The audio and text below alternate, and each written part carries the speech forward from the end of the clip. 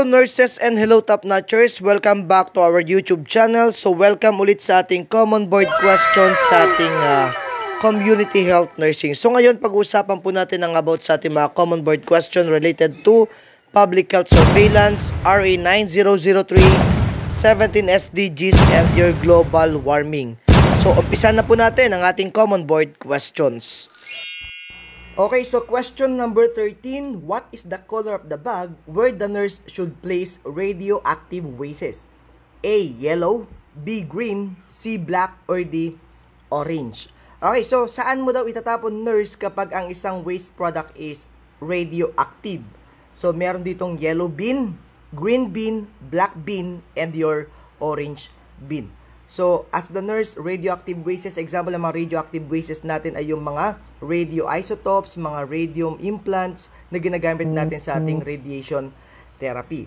So, in your color-coded bin, according to our uh, waste management or the healthcare waste management manual of the Department of Health, we have your five color-coded trash bin.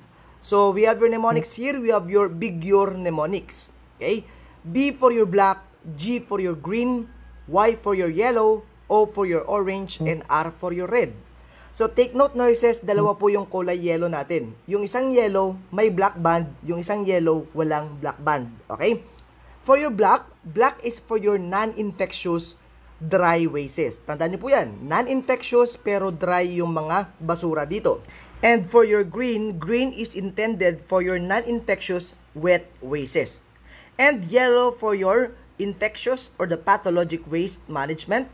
And you have also your orange for the radioactive wastes and for your red for your sharp wastes. Okay? So, yun po yung ating tatandaan. So, saan mo daw itatapon kapag ang isang basura or waste product is radioactive? So, the correct answer in your question is your orange. Okay? So, orange bin po natin siya itatapon. So, ano-ano po ba yung ating itatapon na waste product kapag ang kulay ng ating basurahan ay black? Okay, so take note that your black bin contains the non-biodegradable wastes or yung mga hindi nabubulok or hindi nalata. Okay? So, like your paper or any paper products like newspaper, Tetra Paks, etc. Okay? So, take note nurses that the number one waste product in the hospital is paper products. Okay? Paper wastes po ang pinaka, pinaka number one na waste product sa mga hospitals. Okay? The next we have also your bottles like the glass and plastic bottles and the packaging materials like your styrofoam, candy wrapper, and your aluminum cans. Okay? So again, so pag sinabi po natin black, black is for your non-biodegradable or the non-infectious dry wastes. Okay? Then, pagdating naman po sa ating green trash bin or the green bag, green bag contains your biodegradable wastes or yung mga nabubulok. Okay? Like your leftover foods, used cooking oil, fish entrails, scale fins, and your fruits and vegetable peelings. Okay? Yung mga nabubulok na prutas at mga gulay, dyan din po natin sila itinatapon. Again, so if we say green trash bin, ang green trash bin po natin ay intended po yan sa mga non-infectious waste products. Okay, then next we have also your yellow trash bin. Okay, so pag sinabi naman po natin yellow trash bin, yellow trash bins or trash bag contains the infectious and the pathological wastes, okay? Such as used test strips, used beads or plates, used reaction pads or foils, and the used swabs, okay? And the used gloves, used cord clamp, used plaster, and the used mask. Say, so pag tanungin kayo sa board exam kung saan mo itatapon yung mga used N95 mask, okay? Itatapon po natin yan sa ating yellow without black band. Okay? Bakit without black band? Kasi infectious pathological waste po yun. Okay? So, yellow contains your infectious and pathological wastes. And pag sinabi naman po nating yellow with your black band, okay? Yellow with your black band contains your pharmaceutical and your chemical wastes. So ano po ba itong mga pharmaceutical and chemical wastes na tinatawag natin? Okay? So ito yung mga defective thermometer, especially yung ating mercurial, okay? O yung glass thermometer natin. So defective thermometer, busted fluorescent bulb, yung mga pumutok o yung mga pundido ng mga mga fluorescent bulb natin. Empty bottles of acids, betadine, iodine, alcohol, anesthetic products, and laboratory reagents like yung mga formaldehydes natin. Okay? So, pag sinabi natin yellow with black band, yan po yung mga pharmaceutical and your chemical wastes. And pagdating naman po sa ating orange trash bag or trash bin, orange contains the radioactive wastes or any medical equipment contaminated or exposed in radioactivity. Such yung mga equipments natin na ginagamit natin sa mga pasyenteng nag-undergo ng radiation therapy. Okay? Again, so kapag ito ay radioactive waste, saan daw po natin siya itatapon? Itatapon po natin yan sa ating orange trash bin. Then, pagdating naman po sa ating red trash bag or trash bin, red contains the sharp materials, okay? It can, uh, it can uh, contain the sharp materials that can cause or cut a puncture wounds. Examples ng mga sharps natin ay yung mga ginagamit natin sa ating uh, surgical suturing, the needles, ano pa, yung mga syringes natin, scalpel, blades, the ampules, test tubes, broken glasses, and the capillary tubes. Okay? So, dyan po natin itatapon yung mga used blades, mga ampules na mga nabasag, and yung mga needles or syringes. Okay? So, yun po yung ating mga color-coded trash bin. Ulitin ko lang. So, we have your mnemonics here. We have your Bigyore mnemonics. B for your black, for your non-infectious dry wastes. G for your green, and that is for your non-infectious wet wastes or yung tinatawag natin na biodegradable wastes. Y for your yellow, like your infectious or the pathological waste. Kapag may black band naman, yan yung mga pharmaceutical or chemical wastes natin. And kapag orange naman yung ating color-coded trash bin, that is for your radioactive wastes. And your red trash bin is for your sharps. Okay? So, yun po yung ating color-coded trash bins. Okay, so question number 14, which of the following items cannot be recycled? Again, so the question here is cannot be recycled. So, alin dyan yung item na hindi pwedeng i-recycle? So, letter A, empty vials. B, empty IV bottles. C, kitchen meals. Or D, market plastic. Okay, so take note, pag sinabi nating uh, recycle, that is putting a waste into a new use. Okay? So, alin dito ang hindi pwedeng i-recycle and alin dito ang pwedeng i-recycle. So, mag-eliminate tayo ng isang option. So, una nating tatanggalin dyan yung ating option letter C. Okay? Yung kitchen meal natin ang ating unang tatanggalin kasi pag mga food waste products, kay mga food wastes natin, it is considered as recyclable. Okay? Yung mga pinagtinikan, yung mga balat ng ating mga saging or mga banana peels, mga rotten vegetables, mga leftover meals, that is considered as recyclable material. So, take note, we have your Republic Act 9003 or yung tinatawag natin na Ecological Solid Waste Management. So under this Republic Act 9003, meron po tayong tinatawag ditong 5R of your environmental sanitation. Kung dati tatlo lang po yan, ngayon lima na po yan. First R is the reduce. Reduce means to minimize the amount of waste we create. Then next we have also reuse. Reuse means using items more than once. And R we have your recycle. Recycle means putting a product into a new use. And recover. Okay? Recover means practice of putting waste product into use. And yung ating isa pang R, we have your refuse. Okay? Refuse wasteful and polluting products. So example, kapag sa mga market natin, mga healthy markets natin, may mga nagtitinda dyan ng mga, mga market plastic. Okay, so pwede nating i-refuse yung ating mga single-use plastic bags. Okay, so that is your 5 R's of your environmental sanitation. So, alin dito sa mga choices natin ang hindi natin pwedeng i-recycle? So, tanggal na si C, tanggal na rin si letter D. So, A or B na lang ang natitira. So, the correct answer in your question number 14 is letter A. Empty vials po ang ating sagot.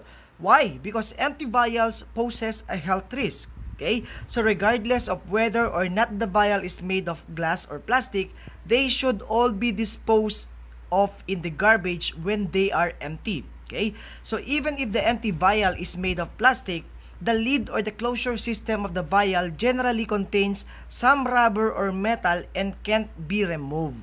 This means that the item is mixed waste and cannot be recycled. So, kapag mixed waste po yung ating uh, waste product, it can't be recycled. So, the correct answer here is your letter A, the empty vial. Okay? The empty drug vial. Then next, we have your question number 15. What SDG number is health-centered? A, 3, B, 6, C, 10, or D, 1? Okay, so If we say SDG, SDG means Sustainable Development Goal. So, alin daw dito sa mga SDG number ang health-related or health-centered SDG? Okay, so is it A, 3, B, 6, C, 10, or D, 1? So, the correct answer here is letter A. So, it is the SDG number 3. So, SDG number 3 is the health-centered SDG because it targets your health and your well-being. Yung letter B naman natin which is the SDG 6 that is all about your clean water and sanitation. Ang letter C naman natin which is the SDG 10 is all about your reducing inequalities. And for your letter D, the SDG number 1, that is all about no poverty SDG. Okay? So the correct answer here is letter A. SDG 3, health and well-being is the focus. So health has a central position in the agenda through the SDG number 3 and is closely linked to over a dozen targets in other goals related to urban health, equal access to treatments, and non-communicable diseases among the others. So, yan po yung ating tinatawag na health-centered SDG. It is the SDG or the Sustainable Development Goal number 3. So, the Sustainable Development Goals or the Global Goals are a collection of 17 interlinked global goals designed to be a blueprint to achieve a better and more sustainable future for all. These SDGs were set up in 2015 by the United Nations General Assembly and are intended to be achieved by the year 2030. Okay? So, by the year 2030, yan po yung target year ng ating Sustainable Development Goals. So, what are the 17 Sustainable Development Goals? So, SDG number 1 is the goal for no poverty. Number 2 is zero hunger. Number 3, the good health and well-being. Number 4, quality education. And number 5, the gender equality. For SDG number 6, it's all about your clean water and sanitation.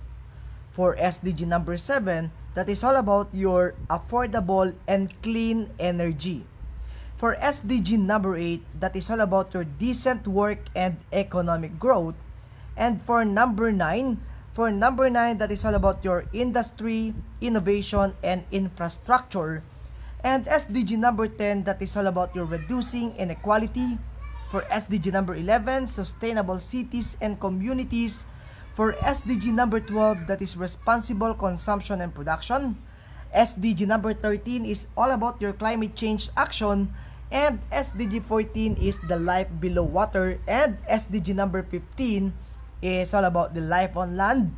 16 is for peace, justice, and strong institution. And the last goal, which is the SDG number 17, is the partnership for the goals. Okay? So, number 16, what year is the target for sustainable development goals? So, sinabi natin kanina yan. So, letter A, 2020, B, 2025, C, 2030, or D, 2040. So, the target year of the sustainable development goal is on 2030. So, by the year 2030, kailangan ma-achieve natin or ma-meet natin yung goal natin. So the global goal for your sustainable development goal is for uh, for a better future. So yun po yun. So that is transforming our world by the year 2030. So the correct answer here is letter C. The Sustainable Development Goals are also known as the Global Goals were adopted by the United Nations member states in September 2015 as a universal call to action and to end poverty, to protect the planet, and to ensure that all people enjoy peace and prosperity by the year 2030. Okay, so by the year 2030, that is the target year of your sustainable development goals. Okay, so down to our question number 17, it's all about your greenhouse effect. So greenhouse effect refers to A. Ability of the atmosphere to retain water vapor. B. Ability of a certain atmospheric gases to trap the heat and keep the planet relatively warm. C. Ability of the cloud to scatter electromagnetic radiation. Or D. None of the above. Okay. So, greenhouse effect ang ating tinatanong dito. So, mag-eliminate tayo ng isang option which is very obvious na mali yung ating letter C. Because letter C is all about your albedo effect.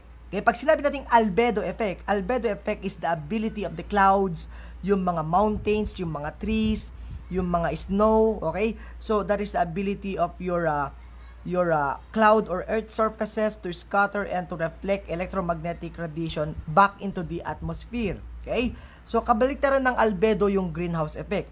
So if we say greenhouse effect, that is the ability of the certain atmospheric gases to trap the heat and keep the planet relatively warm. So the the correct answer here is letter B. Okay? So pag sinabi kasi nating greenhouse effect, yan yung parang earth blanket. Okay? So the greenhouse effect is defined as the warming of the earth surface by your atmospheric gases, especially mga greenhouse gases natin that reflect the heat back down to the planet rather than allowing it to escape into the space. So, hindi nakakasingaw yung init ng ating daigdig, okay, or ng ating Earth. So, the greenhouse effect occurs when gases in the lower troposphere absorb radiation from the surface and subsequently re-emit the infrared radiation, warming the atmosphere.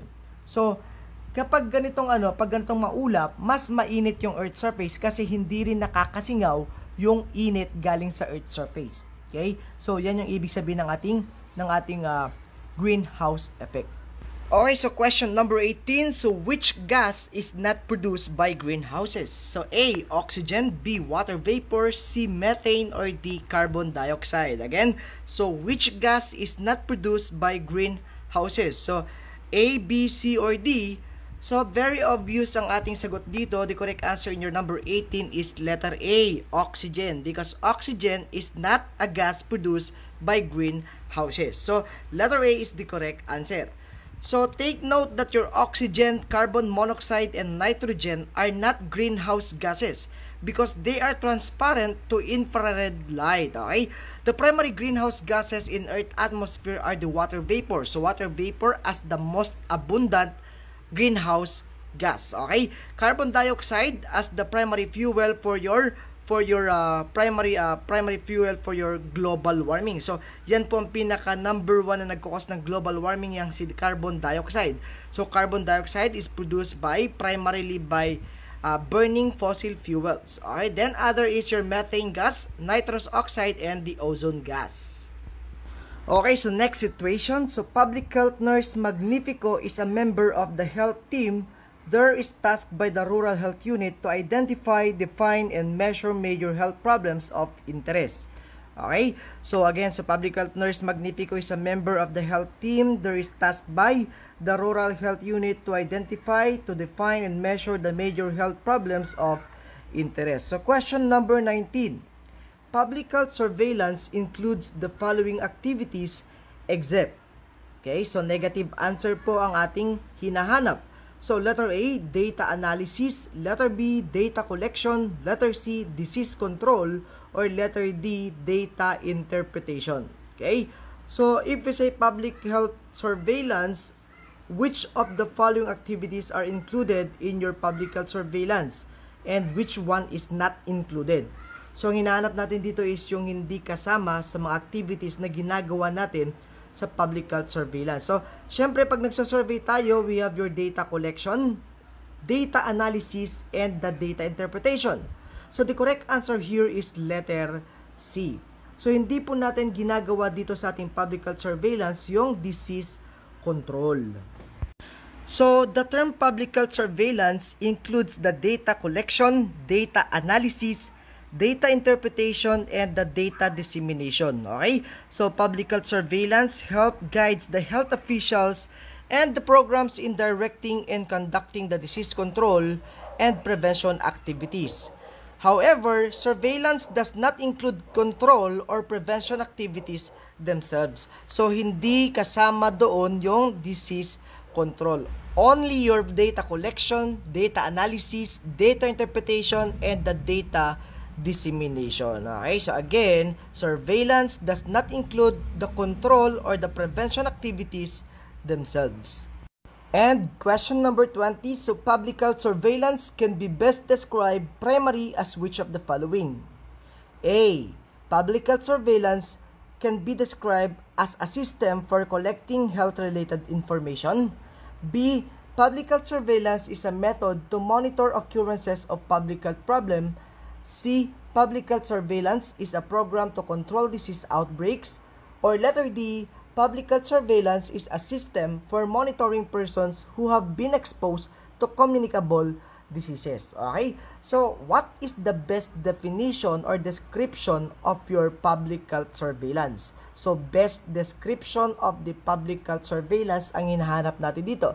So, take note nurses that public health surveillance is not included or not a not a it is not included as a system. Okay? So, public health surveillance is a method. Okay? It is a method to monitor the occurrences of your community health problems. So, public health surveillance can be thought as one of the methods that a community has available to monitor the health among its population by detecting the problems, communicating alerts as needed, and guiding the appropriate response and evaluating the effect of the response.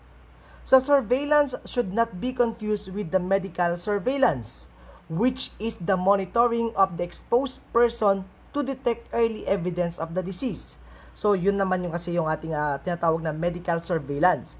So, public health surveillance is the continued watchfulness for public health problems and it is not a data collection system. Again, so public health surveillance is not uh, is not uh, considered as a system or data collection system. So it is a method, okay? It is a method to monitor the occurrences of your public health problems. So the correct answer here in your question number 20 is letter B. Okay? Public health surveillance can be thought as one of the method that a community has available to monitor the occurrences of a certain health problem.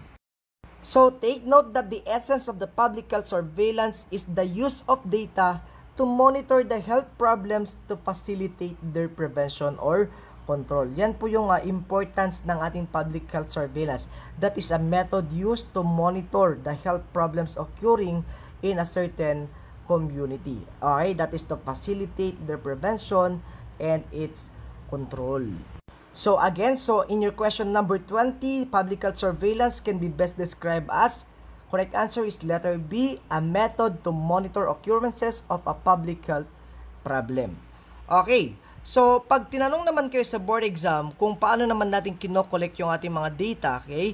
So, data collected through which of the following method is commonly used for surveillance? So, it is commonly uh, collected via vital registration, disease notifications, and population surveys. Okay, so Take note that the randomized clinical trials is not included. Okay, it is not included as a method in your data collection used for surveillance. So only vital registration, disease notification, and population surveys. Yang tatlong lang uh, tatlong yan lang ang pwede natin gamitin for your surveillance. So vital registration records, disease notification, and the population surveys. Again, randomized clinical trials is not included.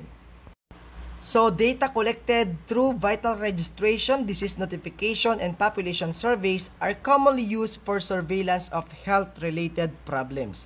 Sabi dito, data from randomized clinical trials typically cover only a specially selected population and are used to answer specific questions about the effectiveness of a particular treatment. So, data from randomized clinical trials are not useful for surveillance. Okay? So, that is your uh, data collected from vital registration, disease notification, and population surveys which are commonly used for your surveillance of health-related problems.